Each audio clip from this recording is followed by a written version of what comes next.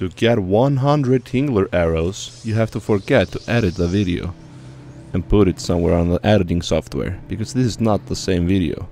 This is Korban. She's a seithkona I found in the middle of some obelisk ruin circle in Skona Ravine, 10 out of 10.